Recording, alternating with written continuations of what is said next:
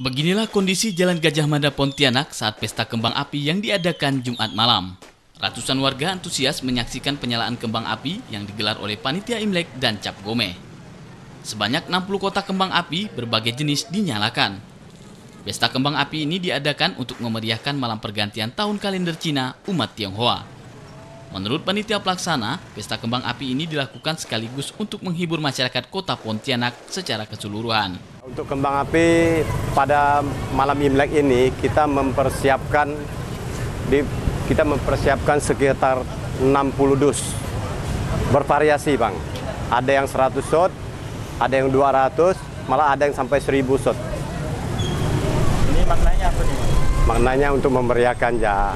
Kita mengingat eh, Imlek. perayaan Imlek ini kan tiap tahun memang ada. Jadi kami panitia Cap Gome ini hanya meramaikan aja. Ya, mudah-mudahan berjalan baik dan lancar. Kita harapan kita tahun depan mungkin lebih meriah. Tahun tahun yang lalu pun mungkin seperti seperti ini uh, Lai Tengah ya, uh, cuma di Gajah Mada sekarang ada yang lebih besar. Selain dikenal sebagai tradisi, kembang api juga merupakan lambang kehidupan bahwa warga semakin makmur. Dion Setiawan, Kompas TV Pontianak.